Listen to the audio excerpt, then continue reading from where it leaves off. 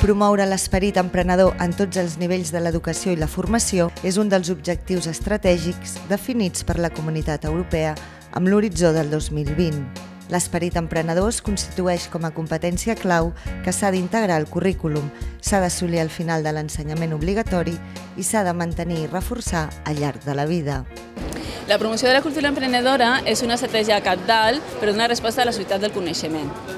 Augmenta la implicació del sistema educatiu i sistema productiu, afavoreix la millora dels resultats educatius i l'adquisició de capacitats, habilitats i valors que són necessàries per capacitar les persones en el desenvolupament dels seus projectes professionals, però també vitals, perquè l'espírit emprenedor és molt important també per desenvolupar-se desenvolupar en altres aspectes de la vida. Les àrees de desenvolupament econòmic i de coneixement i noves tecnologies de la Diputació de Barcelona duen a terme el projecte Cultura Emprenedora a l'Escola, promovent el, el treball conjunt entre ens locals i centres educatius. El projecte se desenvolupa al llarg dels cursos acadèmics compresos entre el 2011 i 2015, amb la voluntat de fer-lo extensiu a tota la província de Barcelona a mig termini. La finalitat és treballar el foment de la cultura emprenedora en el cicle superior de l'educació primària per desenvolupar els valors, hàbits i capacitats claus vinculades a l'emprenedoria. L'observació i exploració, la iniciativa i creativitat, la responsabilitat, la presa de decisions i l'assumpció de risc, la flexibilitat i perseverança, la recerca i optimització de recursos, com la informació i les tecnologies, la cooperació i solidaritat, el coneixement i respecte de l'entorn, el treball col·laboratiu i en equip. El projecte aposta per un model cooperatiu de, com a filosofia empresarial de base, perquè aquest model aporta una gestió democràtica participativa i a més afavoreix eh, tota una vessant de responsabilitat social, que també es treballa amb els nanos i que és molt important en el projecte. El projecte vincula els centres educatius i els ens locals i es fonamenta en dos pilars bàsics, l'estratègia local i el programa educatiu a l'escola.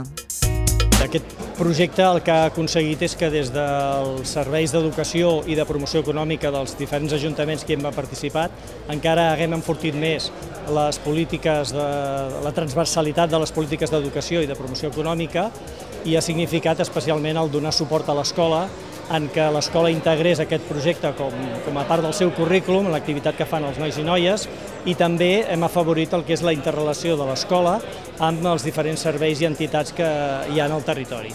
El programa educatiu de l'Escola Emprenedora comporta que a cada classe es genera una cooperativa que tota una sèrie de materials que s'han de desenvolupar i de matèries que es treballen es fan de manera transversal dins de l'escola.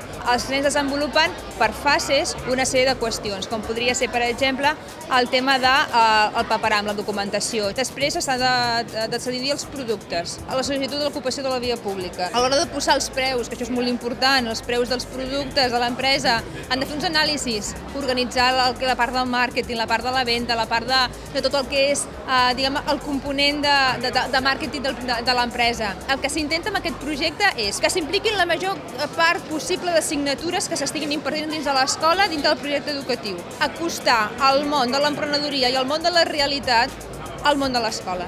Desenvolupen habilitats socials, habilitats comunicatives, desenvolupen eh, aspectes de reflexió, de treball en equip, de motivació. La implantació del programa educatiu a l'escola afavoreix l'adquisició de les competències bàsiques del currículum. Autonomia i iniciativa personal. Aprendre a aprendre. Competència social i ciutadana. Competència lingüística. Competència matemàtica. Tractament de la informació i competència digital. Competència cultural i artística. Competència en el coneixement i la interacció amb el món físic. Hem integrat dintre de les àrees curriculars del, de l'escola, o sigui, hem deixat una mica de banda el llibre, però perquè molts continguts els hem pogut fer mitjançant tot aquest projecte. Hem fet llengua, hem fet matemàtiques, hem conegut moltes entitats socials que hi ha al voltant de Mataró que no coneixíem, sabem moltes coses d'economia, hem après moltes coses. Han fet tot el procés que faria una persona que vol muntar una empresa, des de l'acte de constitució, des de decidir uns estatuts, decidir un capital inicial, eh, preparar uns prototips per veure que, quins productes venien, fer un estudi de mercat, demanar un préstec en una entitat bancària, demanar els permisos a l'Ajuntament, demanar un CIF, eh, és a dir, tots els tràmits que hauria de seguir una, una persona emprenedora.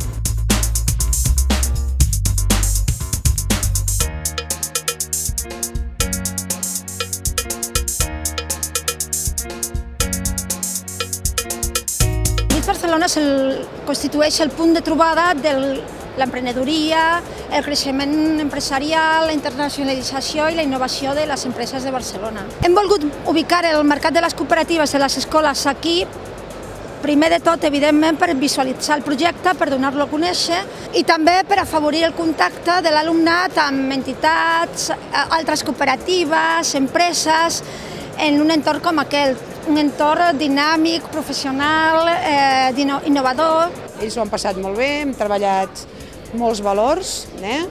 i, i bueno, s'emmarca dins del, del, bueno, com a projecte interdisciplinari de l'escola. Pels nanos també han sigut desenvolupar una sèrie de capacitats que no, normalment no les treballes tampoc a classe. Treballar dels valors, respectes, norma, eh, esforç. Jo valoro una, una experiència molt positiva. A més, els nens ho han viscut, però fenomenal. S'han implicat, estaven pendents de... És a dir, si s'havien de perdre hores de pati, es perdien hores de pati, però han posat, però moltíssim, molt, molt.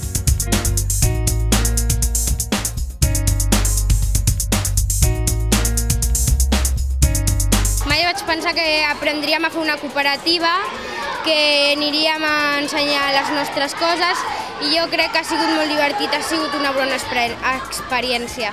Hem vist moltes coses diferents, eh, bueno, hi, ha, hi havia moltes cooperatives que tenien coses semblants a les nostres i bueno, ens ha agradat veure'ns. És xulo perquè hem fet algunes activitats i estem venent i ja anem molt bé. Molt, molt divertida i molt, molt emprenedora. Jo he après a treballar en equip i fer volar la imaginació. A fer un, una cooperativa, sobretot que aprenguin a fer aquests, aquestes coses tan boniques. Aprens molt i és molt divertit.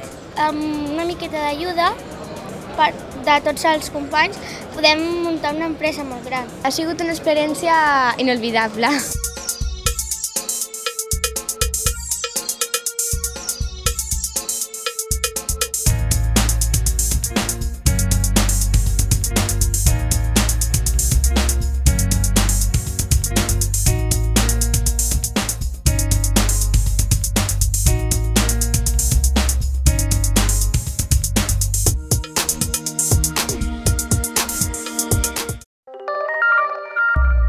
Diputació de Barcelona.